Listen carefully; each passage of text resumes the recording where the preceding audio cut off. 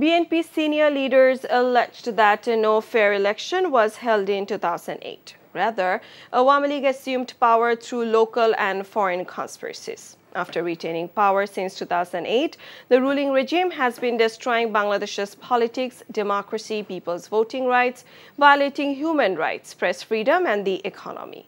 They made the allegation while addressing a protest rally organized by Bangladesh Citizens' Rights Movement in front of National Press Club today. BNP Standing Committee member Selima Rahman and the party Vice Chairman Abdul Awal Mintu made the allegations at the rally. যে দেশের সীমান্তে প্রতিনিয়ত মানুষ মারা যায় দেশিদের সীমান্ত দিয়ে অন্য দেশ থেকে লোক আসা যাওয়া করে এই দেশ সার্বভৌমত্ব রাষ্ট্র এখন আর নাই এই বাংলাদেশ থেকে এই সরকারকে অবিলম্বে বিতাড়িত করা এই ছাড়া বাংলাদেশের স্বাধীনতা সার্বভৌমত্ব রক্ষা করা যাবে না বাংলাদেশের অর্থনৈতিক উন্নয়ন করা যাবে না বাংলাদেশের মানুষের জীবন মানও উন্নয়ন করা যাবে না সামনে রমজান আসছে